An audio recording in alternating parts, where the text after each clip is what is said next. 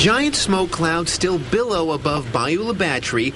What started out as a controlled burn Tuesday is still burning strong. We'll sit with it through the night, you know, and make sure it don't cross our lines, but uh, we're optimistic. The Alabama Forestry Commission believed everything was burned out, but some hot spots flared up Friday. Do they got it under control?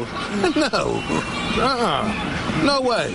Anthony Liggins is especially concerned because his house is about a football field away from the blaze. It just started up again today. It started up the other day after it went, they got it out. But I didn't know it was going to get this close to us. With this fire still flaring up, the Forestry Commission decided to make this huge buffer so it wouldn't spread anymore. We probably backburned a couple hundred acres, you know, just to make it safe for the community.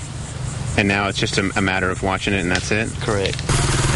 About two dozen people are expected to keep a close eye on the fire through the weekend. We got enough manpower out here. It's it's going to be smoky a while, but and that's to be expected with a 4,000 acre fire. You can't help but have some smoke. But until this smoke stops for good, residents like Liggins still won't be out of the woods. Oh yeah, I'll be up all night long.